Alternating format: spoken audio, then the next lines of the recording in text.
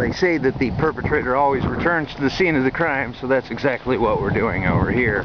This is the dirt after we've turned it into a garden bed for the corner.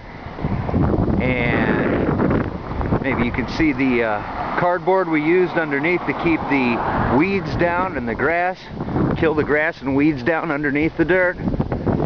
And uh, this is why you don't immediately plant something on a public walkway is because clearly there have been humans and dogs in here. Uh, so hopefully we'll be able to get that figured out, come up with some solution for that before we actually put plants in it or seeds.